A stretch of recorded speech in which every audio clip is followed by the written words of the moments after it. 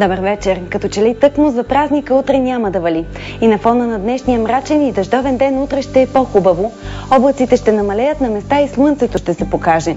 Дунавската равнина ще бъде ветровито. Температурите през деня ще са между 7 и 12 градуса.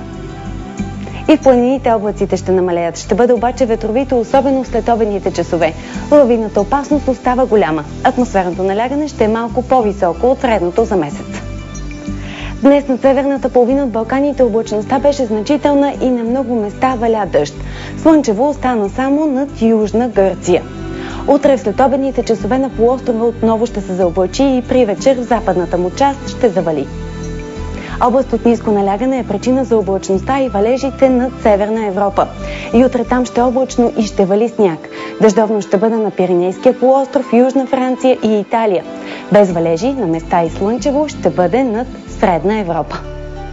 Покачването на температурите и последвалото топене на снега причиниха хаос в Латвия. Затоплянето превърна улиците на Рига в пълноводни реки, а централните части на столицата в опасна зода заради падащите ледени парчета. Тази година страната снегът достигна 70 см. Такава снежна покривка не е имало от 100 години. У нас четвъртък от начало в Западна България до вечерта почти в цялата страна отново ще завали дъжд. В петък ще нахуе студен въздух и на много места дъждът ще премине в сняг. В събота вече няма да вали, но ще бъде студено. Температурите ще са най-много до 0,5 градуса. Това беше прогнозата за времето. Спокойна вечер!